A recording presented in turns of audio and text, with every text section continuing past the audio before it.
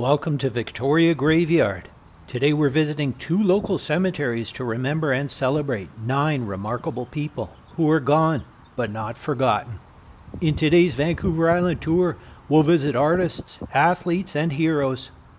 I'd be grateful if you join me.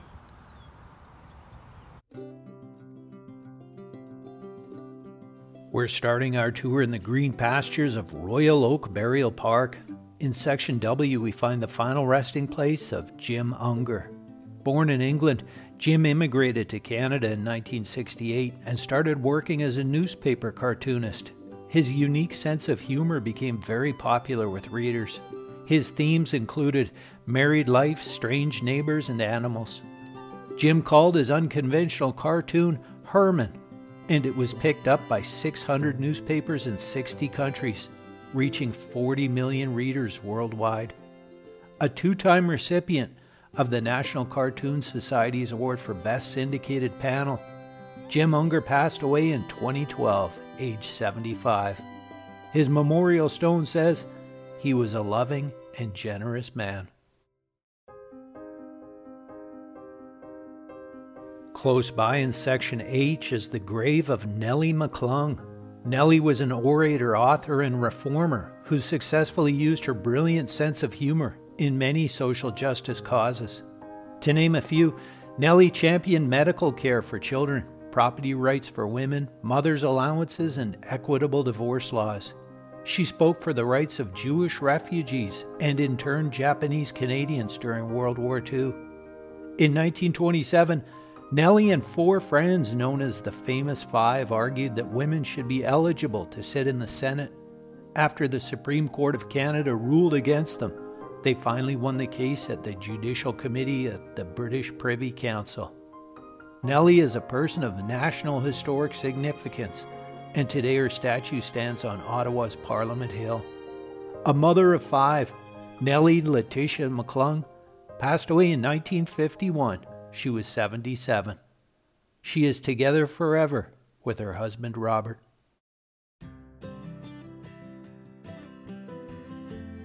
Next, in Section C, we find a pair of remarkable hockey brothers. First, Lester Patrick played defense for many teams, including the Victoria Senators and Victoria Aristocrats. He was known as Les the Silver Fox.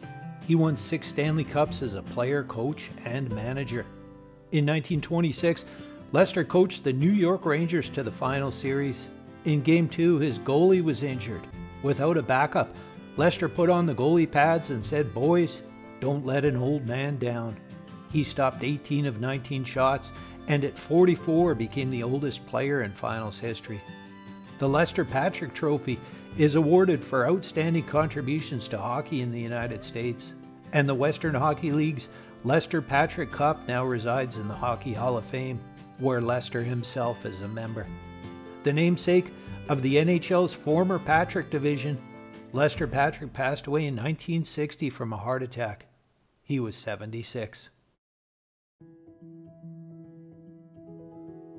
Next to Lester lies his brother Frank Patrick, also a hockey pioneer. Frank was a player, coach, and manager of the Vancouver Millionaires. The Patricks have been dubbed hockey's royal family. They established many rules applied in today's NHL and first introduced numbers on players' sweaters. They created the playoff system, which was copied by many other sports. And in respect of his brother's famous incident, Frank introduced the backup goalie system. Frank is in both the Hockey Hall of Fame and BC Sports Hall of Fame. A big supporter of women's hockey, Frank Patrick also suffered a heart attack and passed away four weeks after his brother Lester in 1960. He was 74. Our last stop at Royal Oak is the Garden of Remembrance, where we'll honor another local hockey legend, Rick LaPointe. Born in Victoria, Rick played for the Victoria Cougars and was named top defenseman in the 1974 World Junior Tournament. He became the first Victoria born and trained player in 37 years to make it to the NHL. He was drafted fifth overall by the Detroit Red Wings.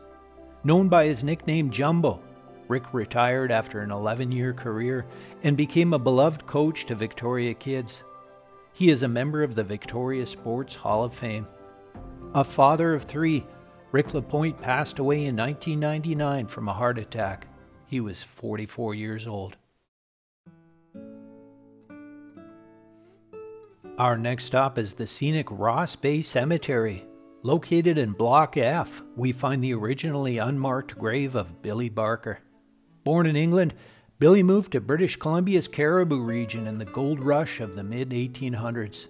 He became an incredibly successful and lucky miner, finding unprecedented amounts of gold. He would eventually discover nearly 40,000 ounces. Billy was a generous man, and he gave away all of his riches.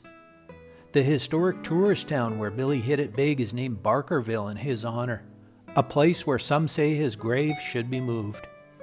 Billy Barker passed away in 1894, age 75. His memorial plaque says he died poor in wealth, but forever rich in friends. Nearby in Block H, we find the impressive grave of James Douglas.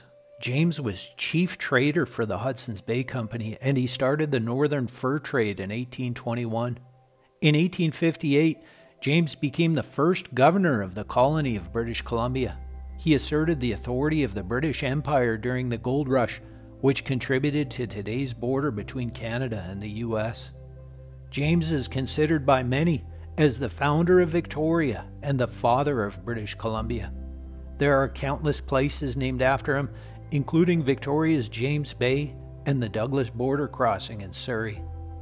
Knighted by Queen Victoria in 1863, Sir James Douglas passed away from a heart attack in 1877. He was 73. In Block B is the final resting place of BC's first Chief Justice, Matthew Begbie. Matthew traveled throughout the province on foot or horseback to administer justice. He learned a number of indigenous dialects and conducted trials in those languages. Matthew recognized the concept of Aboriginal marriage and allowed people to swear an oath of truth on a sacred object other than the Bible. He further ruled against the discrimination of Chinese Canadians. In 1864, Matthew presided over the murder trial of five Indigenous men, and the jury sentenced them to hang. This contributed to his nickname, the Hanging Judge.